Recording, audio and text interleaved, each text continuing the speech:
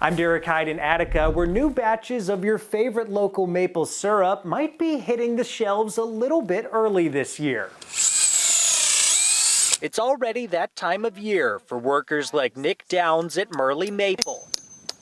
Time to start harvesting the sap from their thousands of maple trees. The winter is milder and warming up sooner. We just start tapping sooner. Traditionally, you would have started tapping late February, early March, and now we're tapping early January.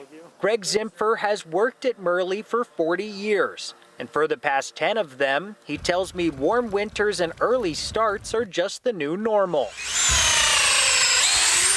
But he assures me the maple syrup tastes just as good as every year prior. Changes the timeline. You just have to pay more attention to the weather forecast. These warmer winters are felt by maple farmers across our area. An hour away in Concord, owner of Gable's Maple Syrup, Norbert Gable Jr., sat down to show me some pictures of their family tapping trees over the years.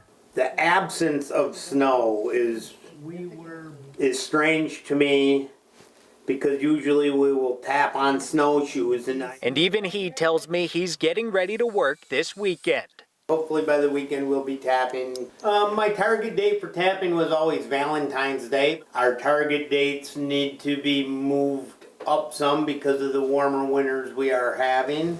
They both tell me the perfect weather is when it's below freezing at night and above freezing during the day. It can either be too warm or it can be too cold. And right now, it's been running about normal. And our future weather is set up to do just that. That aside of fresh 2024 syrup. Derek Hyde, 7 News, Attica.